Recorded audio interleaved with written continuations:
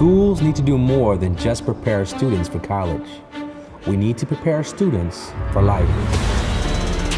That means meeting them at the nexus of the world they're entering by combining their interests, their passions, the way they already learn, with the skills and knowledge they need. The program is unique in the fact that we combine sim education through video game based play with a STEM curriculum. So I teach thermodynamics, I teach electromagnetics, I teach aerodynamics. The way the class was designed, it really like it sets you free and just understanding the mechanics of a car has been a really good experience for me. Classes were never repetitive, it was always different every class.